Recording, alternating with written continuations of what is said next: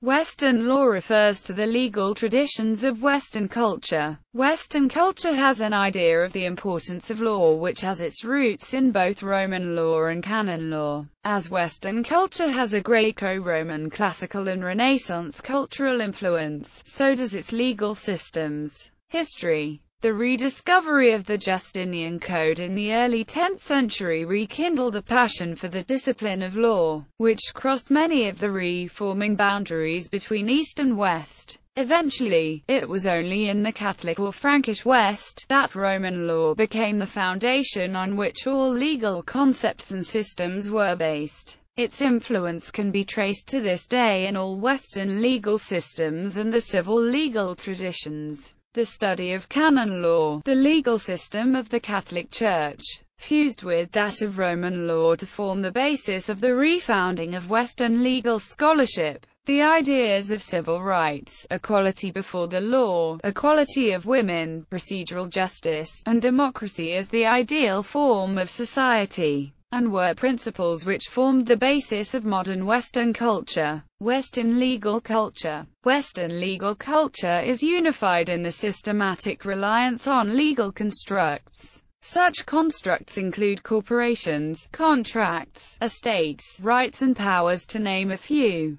These concepts are not only non-existent in primitive or traditional legal systems but they can also be predominantly incapable of expression in those language systems which form the basis of such legal cultures. As a general proposition, the concept of legal culture depends on language and symbols and any attempt to analyze non-Western legal systems in terms of categories of modern Western law can result in distortion attributable to differences in language. So while legal constructs are unique to classical Roman, modern, civil and common law cultures, Legal concepts or primitive and archaic law get their meaning from sensed experience based on facts as opposed to theory or abstract. Legal culture therefore in the former group is influenced by academics, learned members of the profession and historically, philosophers. The latter group's culture is harnessed by beliefs, values and religion at a foundational level.